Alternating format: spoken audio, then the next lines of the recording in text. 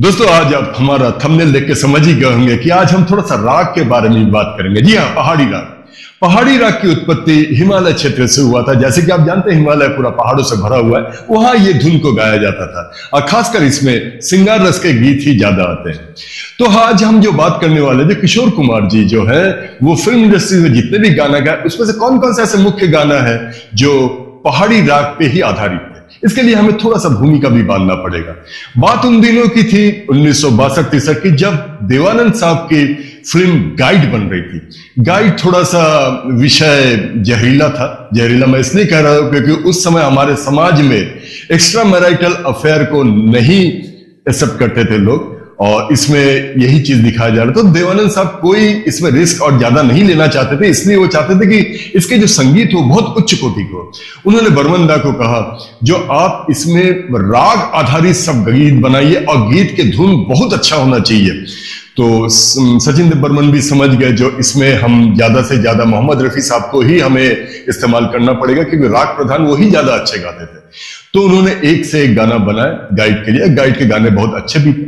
लेकिन जब फ़िल्म लगभग पूर्ण होने को आई, तब देवानंद साहब को ऐसा लगा जो कुछ यहाँ पे मिसिंग है, कुछ चीज़ की कमी खल रही है।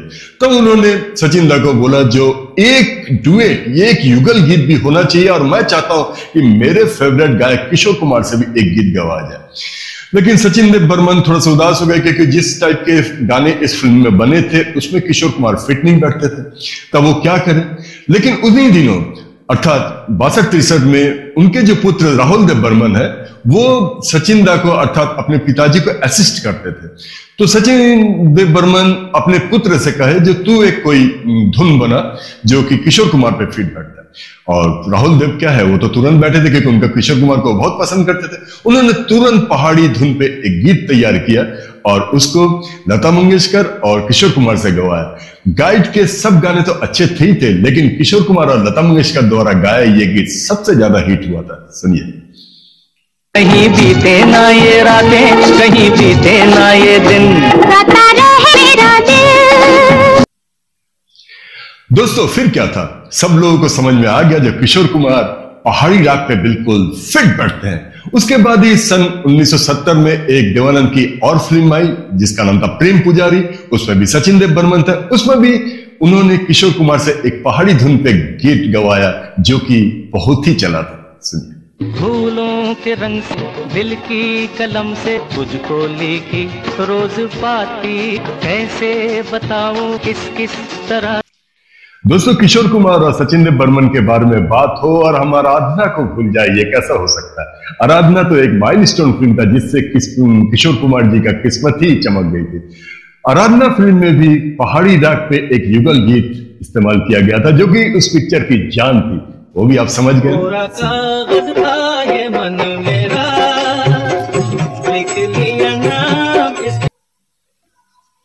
आगे दोस्तों 1971 में फ़िल्म आई थी कटी पतंग। इसमें म्यूज़िक डायरेक्टर थे राहुल देव बर्मन राहुल देव बर्मन ने भी किशोर कुमार से इस फ़िल्म में एक पहाड़ी बेस्ड सुर पे राग पे एक गीत गवाया था, जो कि बहुत हिट थी। सुनिए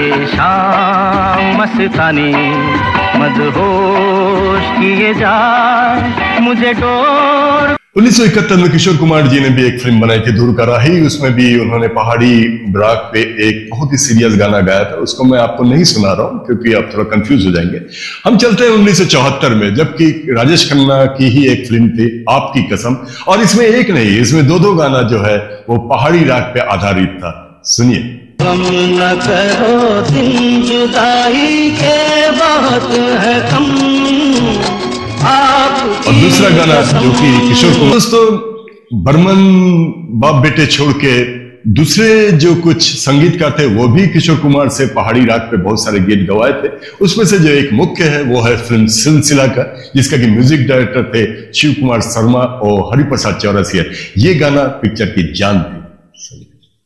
देखा एक खाब तो ये सिलसिले हुए दूर तक निगाह में है गुल खिले हुए। एक और बात दोस्तों, आप सोचेंगे, ये जो गीत मैं इतना सारा दिखा ये तो सब एक दूसरे से भिन्न भिन्न सुनाई में आता है। तो ये एक राग पे आधारित कैसे हो सकते हैं?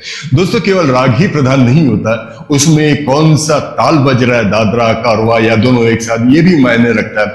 उसका जो स्केल है या नोट है, किस नोट पे गाया? उच्च स्केल में गाया जा रहा है ऊँचे स्वर में गाया जा रहा है, नीचे स्वर में गाया जा रहा है। इसके साथ म्यूज़िक कौन सा इस्तेमाल हो रहा है? और एकाक नोट इधर उधर भी कर दिया जाता है, जिससे कि आपको एक दूसरा से अलग ही समझ में आए।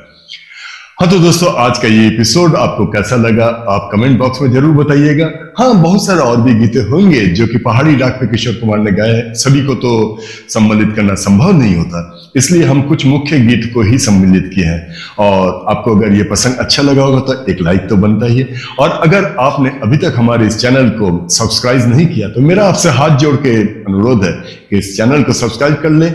और ताकि मैं जब भी ऐसे कोई पसंद बनाऊँ तो आप तक ज़रूर पहुँचे।